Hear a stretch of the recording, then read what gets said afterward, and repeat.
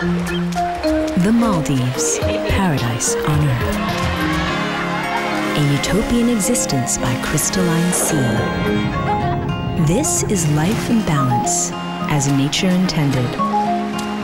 But in a blink of an eye, this could all disappear, thanks to global warming. But there exists a simple solution.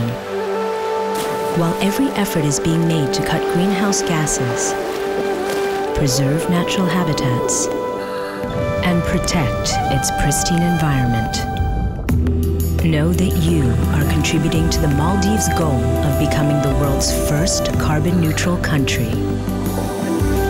A green milestone reached for the Maldives is a green milestone for the world. This is ecotourism, as nature intended. Maldives, the sunny side of life.